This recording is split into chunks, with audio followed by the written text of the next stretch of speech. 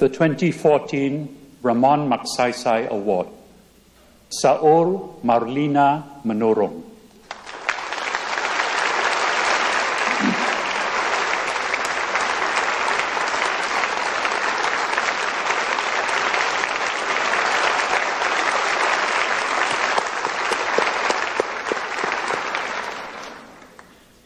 Indonesia's rainforests, the world's third largest, are gravely threatened.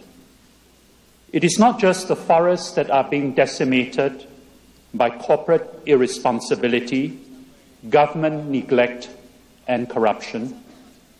What stands threatened as well is the very existence of millions of indigenous people living within the forests who depend on forest resources for their food, shelter, and livelihood. In 1999, Saur Marlina Manurung, a young Indonesian anthropologist, decided to devote her life to protecting and uplifting the lives of Indonesia's Orang Rimba, the forest people. Her life choice was both radical and surprising. Since the nature loving Manurung, known universally as Butet, was raised in the sheltered environment of a middle class family in Jakarta.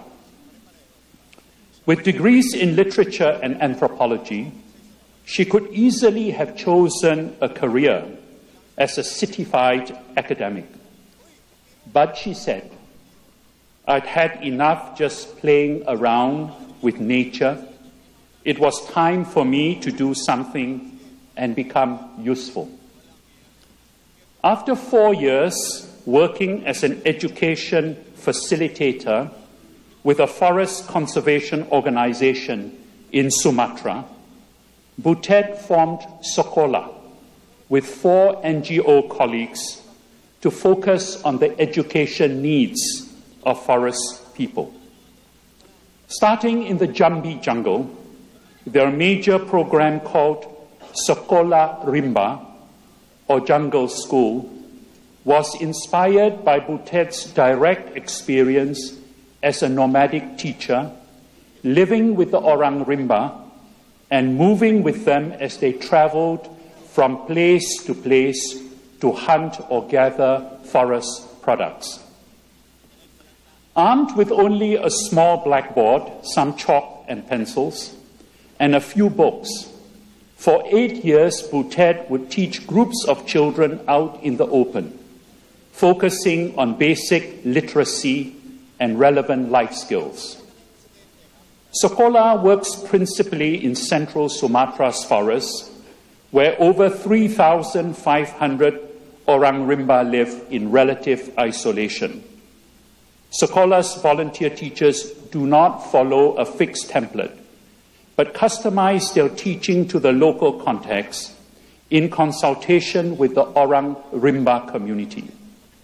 They emphasize life skills rather than academic knowledge, stressing basic literacy for children and practical skills to cope with the changing forest environment. Orang Rimba have to deal with the increasing encroachment of forest exploiting businesses and government programs, which threaten their basic rights, livelihoods, and community cohesion. Since the Orang Rimba are hunters and gatherers, Sokola schedules are flexible and teachers must follow them as they move.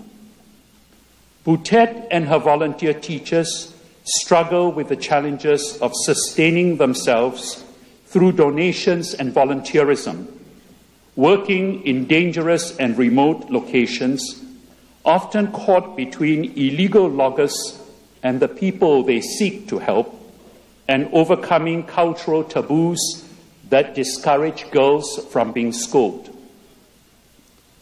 Impressively, Butet's leadership has now built up Sokola into a network of 14 schools in 10 provinces, run by volunteer teachers and trained Orang Rimba youth, benefiting 10,000 children and adults. Young, newly literate Orang Rimba now serve their people as tutors and community leaders. Trained in advocacy and empowered to do liaison between their communities and the outside world, these youth represent their elders in government policy making that impacts on the forest people.